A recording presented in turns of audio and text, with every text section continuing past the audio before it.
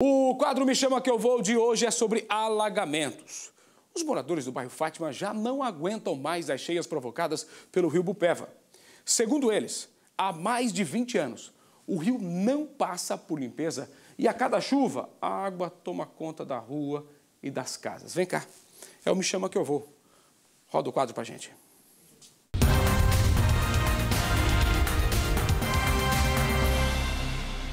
Ô, gente boa, estamos aqui no bairro Fátima, na rua Oswaldo Bitteldrum.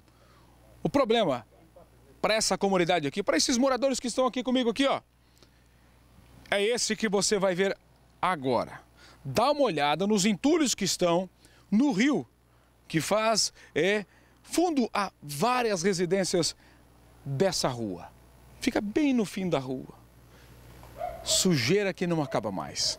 Há 21 anos, um morador já convive com essa situação.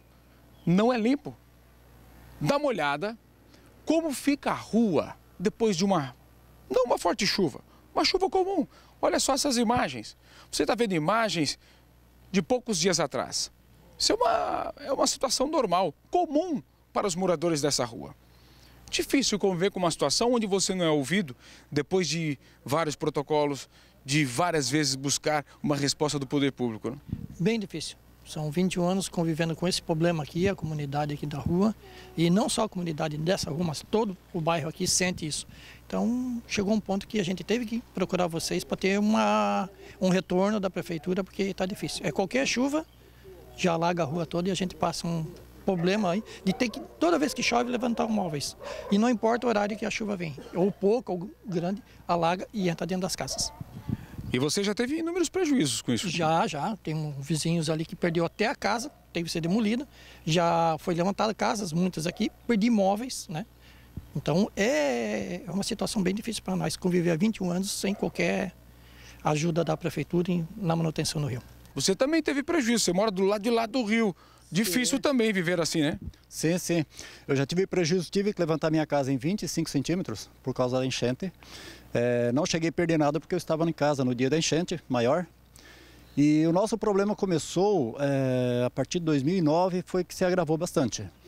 É, foi a partir do momento que o pessoal começou a construir junto à margem do rio, levantar muros e estreitar o canal do rio. E hoje a gente enfrenta um, uma dificuldade que toda a água do Agulhas Negras e Rua Fátima é direcionado tudo para esse canal do rio.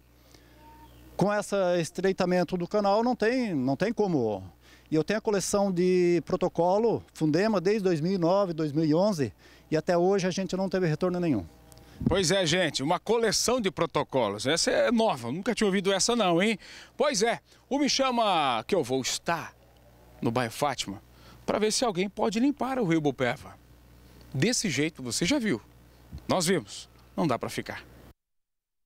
É, gente, a Prefeitura de Joinville informou que foi feita a licitação para a contratação do serviço de limpeza de valas e rios. A orientação é que os moradores reforcem esse pedido na ouvidoria no telefone 156 para que seja colocado na programação. No momento, as ações estão em leitos da região central, depois será feita na região sul. É sempre importante né, é, é fazer esse registro no 156 e também entrar no site da Prefeitura